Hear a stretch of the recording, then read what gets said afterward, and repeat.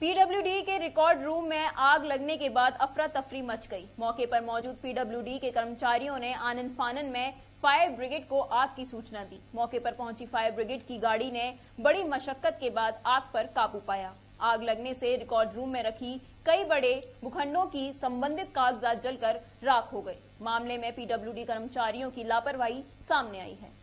PWD के record room में शनिवार को आग लगने से अफरा तफरी मच गई। मौके पर पहुँची फायर ब्रिगेड की गाड़ी ने किसी तरह आग पर काबू पा लिया। आग से विभाग के कई महत्वपूर्ण रिकॉर्ड जल गए हैं।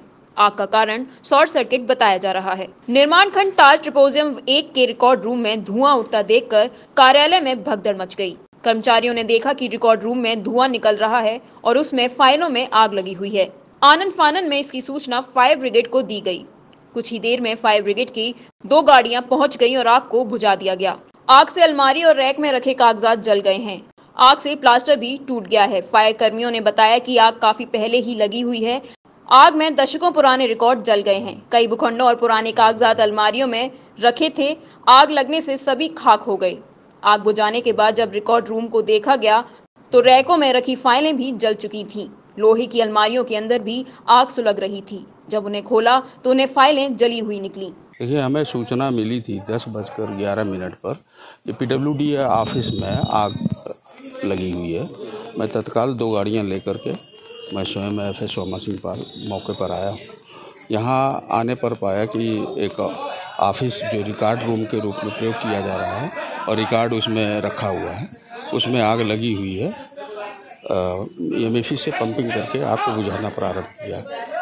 कितने नुकसान होने की आशंका लग रही है कागजात के अलावा? कागजात के अलावा तो देखिए कोई खास नुकसान नहीं है।